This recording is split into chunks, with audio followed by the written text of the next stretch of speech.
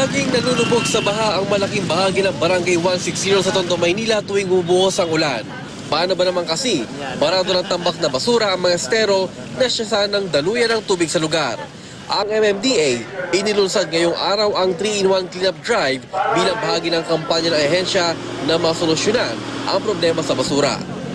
Sa pagsisimula ng programa mismong si MMDA Chairman Francis Tolentino, kasamang ng opisyal ng Tondo, ang naghakot ng mga basura sa estero.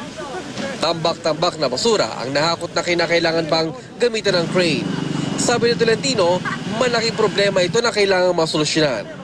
Ang 3-in-1 cleanup operations ay pinagsama-sama ang paglilinis sa mga estero sa mga palengke at lingap barangay.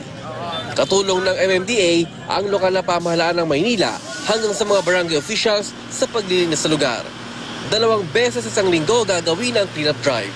Lahat ito, maliliit na maliliit na solusyon pero nakikita natin lahat naman ng malalaking problema nanggaling sa maliliit na suliranin. Eh.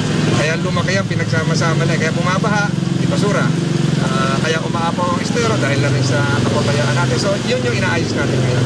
Haji Rieta, GMA News.